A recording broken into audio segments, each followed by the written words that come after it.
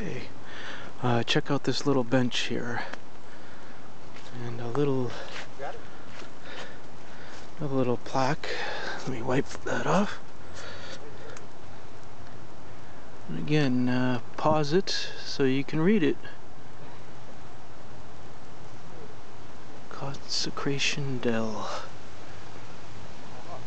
That's a nice illustration. Really like these old illustrations.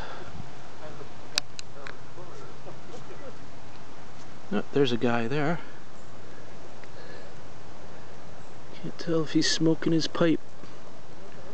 I think he's smoking a pipe. right about there, huh? Yeah.